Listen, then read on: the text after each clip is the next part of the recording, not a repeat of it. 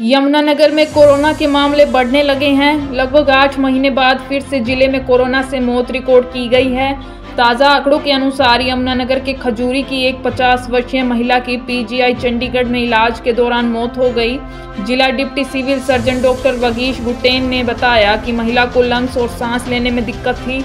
इसके अलावा कुछ और परेशानियाँ भी थी जिसके चलते उन्हें पीजीआई में भर्ती कराया गया जहाँ इलाज के दौरान आज उनकी मौत हो गई। अनफॉर्चुनेटली कल एक 50 वर्षीय एक महिला थी और वो उनको पहले से कोई लंग्स की डिज़ीज़ थी ब्रोंकियल एस्थमा से वो ग्रस्त थी जिसके चलते वो 30 तारीख को पीजीआई एमआर चंडीगढ़ में भर्ती हुई थी और कल उनका वहाँ के इलाज के दौरान देहांत हो गया।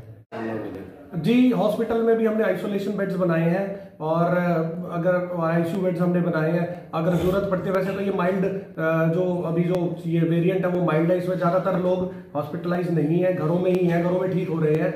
और इन केस अगर ज़रूरत पड़ती है तो हमारा, हमने आइसोलेशन बेड्स की हमारे सी पी एच या जिस ज़िले का जो सरकारी अस्पताल है, उसमें व्यवस्था की हुई है। कोरोना की शहर यमुनानगर में थोड़े से केसेस बढ़ोतरी पे हैं। अगर मैं कल के बुलेटिन के हिसाब से बात करूँ तो हमारे 33 एक्टिव केसेस हैं जिसमें कि चार घरों में चार अस्पतालों में और उनतीस जो है, वो घरों में है।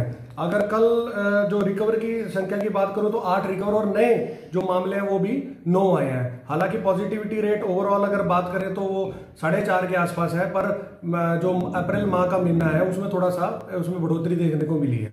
स्वास्थ्य विभाग देखिए सचेत है कोरोना की जो ताज़ा स्थिति को लेके और जो दिशा निर्देश जो स्टेट हेडक्वार्टर से हमें प्राप्त हो रहे हैं, उसको पूरी तरह से कंप्लाई किया जा रहा है। जो सैंपलिंग की जो प्रक्रिया है, वो जिला यमुनानगर ने, में थोड़ी हमने बढ़ाई है और जो पहले हमारे चल रहे थे, उसके हम दुगने या तिगने सैंपल लेने की कोशिश में है। अगर मैं आंकड़ों की बात करूँ तो जनवरी के महीने में हमने 238 प्रतिदिन के हिसाब से सैंपल लिए और एक ही पॉजिटिव केस उसमें था।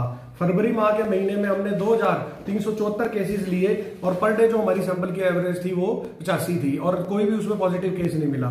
मार्च डेफिनेटली जो महीना था उसमें केसेस बढ़ोतरी में आए हैं, बढ़े हैं यमुनानगर ज़िले में। 2600 के आसपास हमने जो टोटल सैंपल लिए और चौरासी पर डे जो सैंपल की एवरेज हमारी रही। और अगर पॉजिटिव केसेस की बात करें तो सैतालीस। इस जो 30 इकतीस मार्च को हमारे दिशा निर्देश हमें प्राप्त है, जब से हमने सैम्पलिंग बढ़ाई है, हम अब तक 1200 के आसपास हम सैंपल ले चुके हैं तकरीबन, और 20 पॉजिटिव केस है, और पॉजिटिविटी रेट हमारा जो अप्रैल का है वो तकरीबन डेढ़ परसेंट के आसपास। अनफॉर्चुनेटली कल एक 50 वर्षीय एक महिला थी और वो उनको पहले से कोई लंग्स की डिज़ीज़ थी ब्रोंकियल एस्थमा से वो ग्रस्त थी, जिसके चलते वो 30 तारीख को पीजीआई एमआर चंडीगढ़ में भर्ती हुई थी और कल उनका वहाँ के इलाज के दौरान देहांत हो गया। इसमें सर यदि बात करें तो अपने हॉस्पिटल में किस तरह की तैयारी करना जी हॉस्पिटल में भी हमने आइसोलेशन बेड्स बनाए हैं और अगर आईसीयू बेड्स हमने बनाए हैं। अगर ज़रूरत पड़ती है, वैसे तो ये माइल्ड जो अभी जो ये वेरिएंट है वो माइल्ड है, इसमें ज़्यादातर लोग हॉस्पिटलाइज नहीं है, घरों में ही है, घरों में ठीक हो रहे हैं। और इन केस अगर ज़रूरत पड़ती है तो हमारा, हमने आइसोलेशन बेड्स की हमारे सी एच या जिस ज़िले का जो सरकारी अस्पताल है, उसमें व्यवस्था की हुई है।